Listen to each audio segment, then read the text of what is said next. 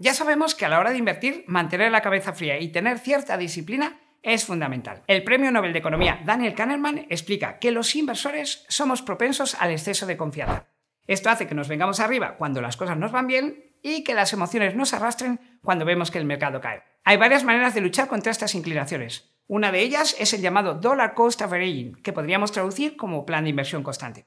No, no, no, no te asustes. No se trata de estar todo el rato pendiente de invertir. Más bien lo contrario.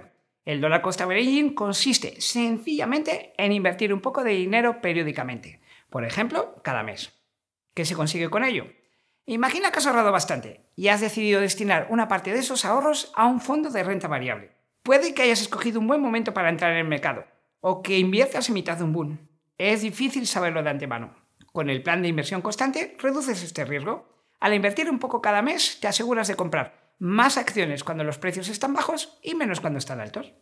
Otra de las ventajas del dólar cost averaging es que permite conseguir mejores rentabilidades que si inviertes todo el dinero a la vez. Al aprovechar las subidas y bajadas del mercado, los resultados de esta estrategia pueden ser muy favorables incluso en épocas de volatilidad y de mercados bajistas. Combinado con un horizonte a largo plazo, el plan de inversión constante es tu mejor aliado a la hora de invertir.